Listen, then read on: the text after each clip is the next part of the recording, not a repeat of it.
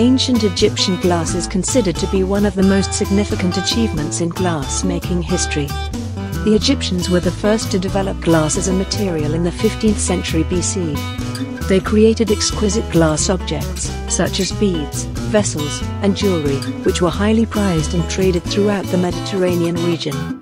The glass was made using a combination of natron, sand, and mineral colorants, melted together in a furnace. The result was a range of colors from blue, green, and yellow to red and purple. Egyptian glass was renowned for its durability, clarity, and beauty, and it continues to captivate historians and art lovers alike to this day.